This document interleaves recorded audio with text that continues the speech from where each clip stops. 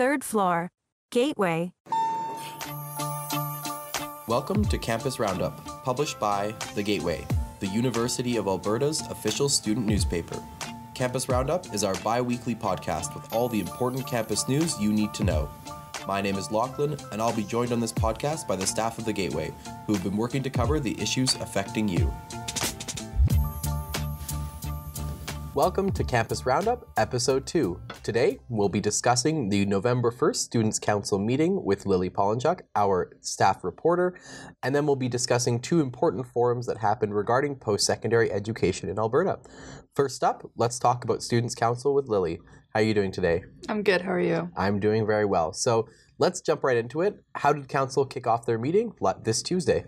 At the very beginning, Council moved in camera, which is when no media or guests are allowed. So, why does council do this? When they are discussing something that is uh, supposed to be kept under the wraps or they don't want shared with the public, that's when they go in camera because the information is then kept between them. So, although we weren't able to see the discussions, do we know anything about what they discussed while in camera?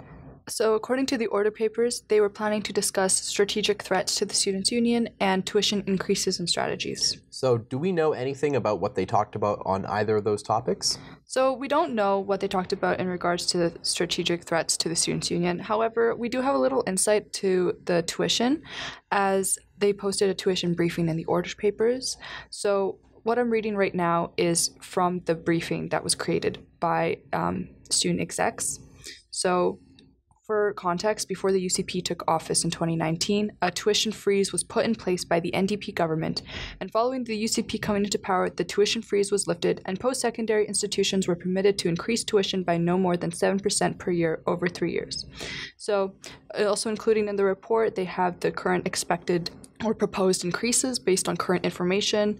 So, for domestic tuition, the amount is 5.5% um, in effect in fall 2023. For international program tuition, it's also 5.5% in effect in fall 2023. And for international cohort tuition, it's 6.5% in effect in fall 2024. But again, these numbers are tentative and subject to change. Okay, so after council finished their in camera discussion, you were all allowed back into the room to watch the rest of the meeting. What happened next? So, after being in camera for two hours, they leaded into a presentation delivered by Simran Dhillon, who is a science councillor, and Fateh Arslan, who is a business councillor. And they presented on Student Representative Association fees. So, what is a Student Representative Association, and what were they talking about with them today?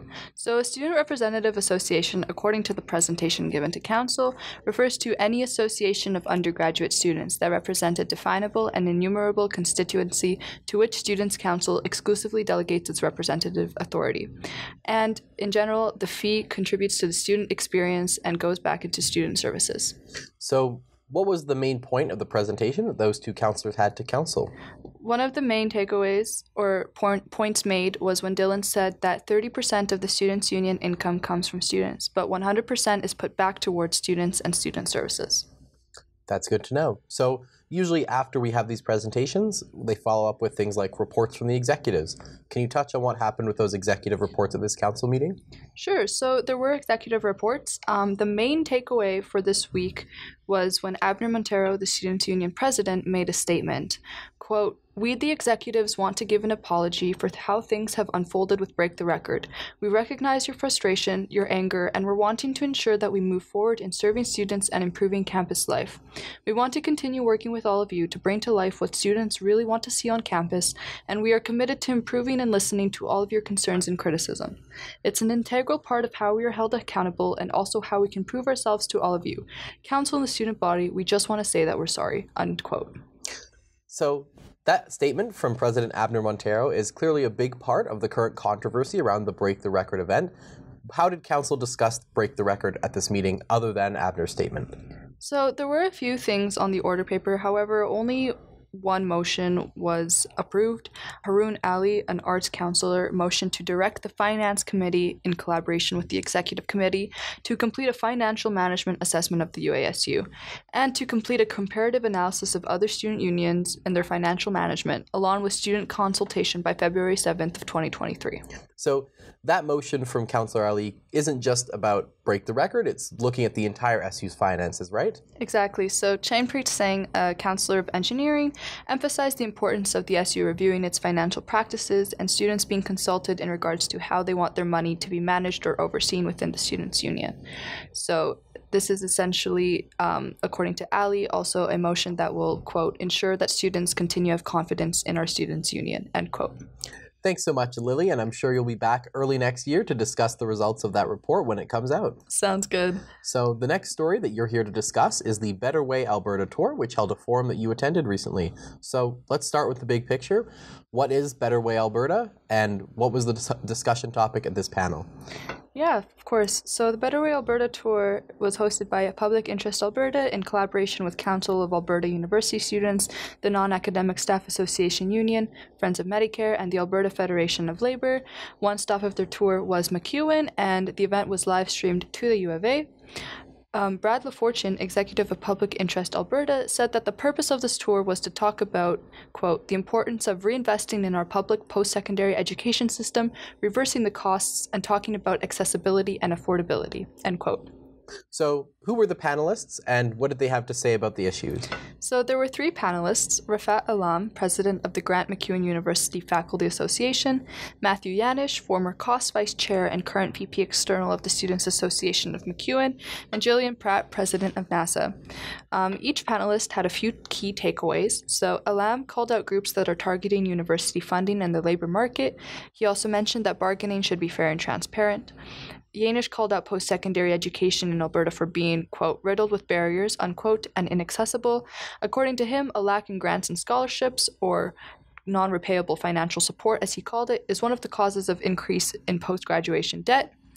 Yanish also mentioned how, quote, students are facing long wait times for on campus mental health supports, so finding services such as counseling can be entirely inaccessible, and most students are now on the brink of crisis, end quote. Pratt said that she wants to see a restoration of funding towards post secondary. She mentioned that the labor shortage and interference in bargaining is, quote, not doing anything for staff retention, unquote. She also emphasized the need for increased funding, an up to date government, and an elimination of performance based funding. All right, so there was also a question and answer element of this panel. Were there any important questions and answers that you noted? Yeah, for sure. So during question period, there was a question about the relationship between political interference and government. Pratt emphasized the need for solidarity among workers, while Yanish said that he thinks, quote, universities in particular are being put into situations where their funding is being decreased, unquote. And he hopes to see a governance in which workers aren't pitted against each other. Thanks so much, Lily, for attending that forum and for being on the podcast today. Thank you. Campus Roundup is supported by our donors. The Gateway proudly produces free to access content thanks to the support of our monthly contributors. You can support the Gateway and keep our journalism free to access using the donation button at gtwy.ca. And for our final segment on this podcast, I'm joined by Emily Williams, our editor in chief. How are you doing today, Emily? I'm good. How are you? I am doing very well, and I'm excited to hear what you have to talk about. So, your story is that you attended a forum, also like Lily, about post secondary education, but yours was specific to the University of Alberta. So, what was the forum that you attended? Yeah, so it wasn't exactly specific to the University of Alberta. It was hosted here, actually. Um, but there were a couple of people who were from Athabasca University. So I will just preface that uh, by saying that. But the forum was uh, about the direction the post secondary sector is headed in Alberta.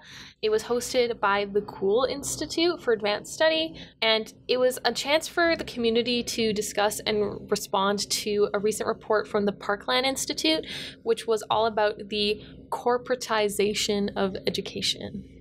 So, specific to the corporatization of education, what are some of the phenomena that at the U of A we've experienced as part of that trend that the Parkland Institute highlighted? Yeah, for sure. So, uh, the main thing for sure is academic restructuring. This is a process that has happened in the past couple of years in response to budget cuts. You uh, students might have heard of, uh, you know, you're part of the College of sciences. That's essentially what academic restructuring was. So they lumped together different faculties, and those faculties pool resources. So they share advisors, they share, um, support staff. And so it was a way for the university to cut costs by having less of those administrative positions. So, is the U of A the only place that we're seeing academic restructuring, or have we seen what that might look like, especially in the long term at other places? Yeah, so that's a really good question. So, uh, the same management firm that the U of A used was also used at the University of Sydney in Australia. And so it definitely has happened before. And someone at the panel actually was from Australia. Her name's Fiona Nicoll. She's a Kule scholar and a professor in the Department of Political Science. And she actually spoke on this a little bit, saying that she was worried about essentially the U of A becoming like the Australian system as someone who had kind of come from that system to do her research here.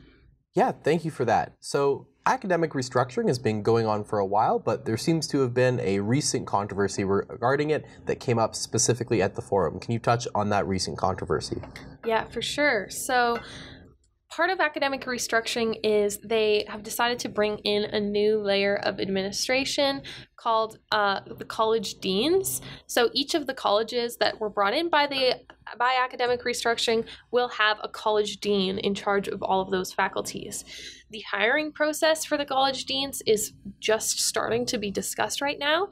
And uh, at a recent General Faculties Council meeting, which is one of the two governance bodies at the university, um, this came up. And Bill Flanagan, who is our university president, mentioned that uh, essentially they were not going to bring this proposal for the hiring of college deans to GFC. They were going to send it straight to BOG, which is like the governance body just above that. Um, and so this got a bit of a negative response from some people on GFC because uh, General Faculties Council is supposed to play a role in um, all academic decisions. And so it's kind of become a topic of discussion as to whether hiring these college deans is uh, an academic decision or more of like a managerial financial decision. Um, yeah. So, GFC, General Faculties Council, that's one that's elected by staff and students. But Board of Governors, can you talk a little bit more about that body and the one that, according to Bill Flanagan, is going to be making the decision about hiring these college deans? Yeah, for sure. So, the Board of Governors is uh, appointed by the provincial government. Um, when in 2019, when Jason Kenney came in, there was kind of um, an overhaul of the University of Alberta's Board of Governors. Lots of folks were kind of taken out. We got new people, and specifically, we did get a new board chair. Her name is Kate Chisholm. And so that was actually a big topic of discussion at the panel as well. Uh, the Parkland report that they were discussing, one of the main findings was that the UCP has appointed at least 42 people to post secondary boards who have connections to the oil and gas sector, which overall is about 28% of university boards.